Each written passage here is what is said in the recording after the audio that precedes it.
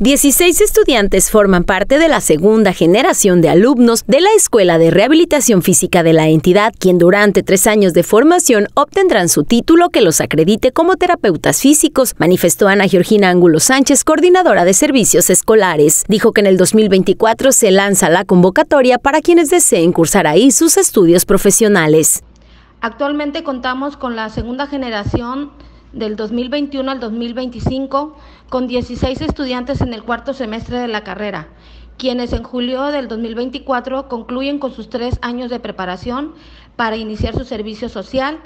eh, distribuidos en las distintas instituciones del CRE que se encuentran ubicadas en algunos estados del país.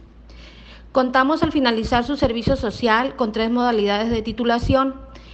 que serían lo que es la presentación de trabajo de investigación en rehabilitación, que vendría siendo la tesis, examen general teórico práctico de conocimientos y el tercero sería publicación de artículos científicos en revistas nacionales o internacionales.